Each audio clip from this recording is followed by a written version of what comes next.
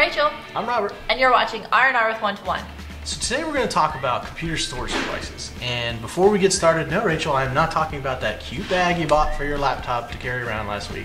I was pretty sure we were going to be talking about the differences between hard disk drives and solid state drives as they pertain to a modern computer and how people would want to make their purchases based on the pros and cons.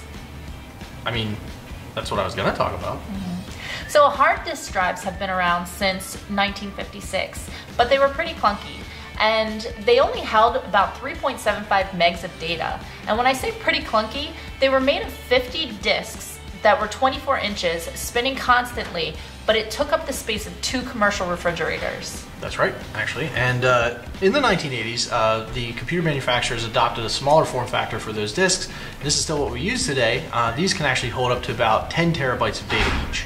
And if you think of these, think of a vinyl record player. Except instead of the vinyl record, you're going to use a magnetic record, and that disc spins 7,200 times a minute.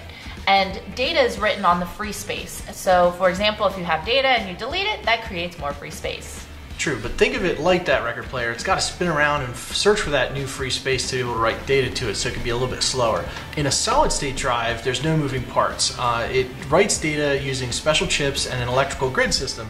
And when the data is written to it, we write them to things called pages. And these pages then are grouped together into things called blocks. And that's important because when you write data, you need to find a new blank page to write to. When you delete data, the data stays on the page until all of it's ready to be del deleted.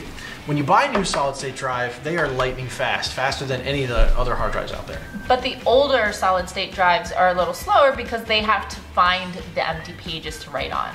Yeah, true, but a regular hard drive has a similar problem called fragmentation where it loses space and it has to go around and write data to all over all over the different platters.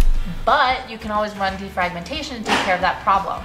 Yeah, but the worst solid state drive is still four to five times faster than a regular hard drive. It's also four to five times more expensive. Yeah, but the new M.2 technology that's available in solid state drives is actually 25 times faster than a regular drive, and the size has shrunk into about the size of a stick of gum. Uh, the solid state drives are now available in your smartphones, in your tablets, they're in PCs, and you can also get them in external drives as well.